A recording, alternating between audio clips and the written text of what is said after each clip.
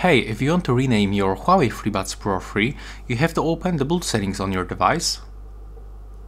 Then when you have the actual connection, you have to click on the settings icon and then you have to click on this place in the right upper corner or somewhere else where you can find this pencil icon. And right now you can change the name. Click rename and as you can see the name has changed and that's all. Bye bye